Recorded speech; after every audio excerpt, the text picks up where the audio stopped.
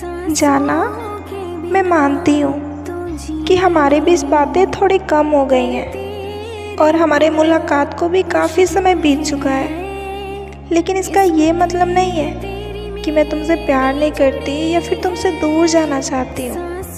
और तुम ही बताओ ना, क्या तुम मुझे दूर जाने दोगे? नहीं ना तो ये सोचना बंद कर दो। मैं सिर्फ़ और सिर्फ़ तुम्हारी ही हूँ।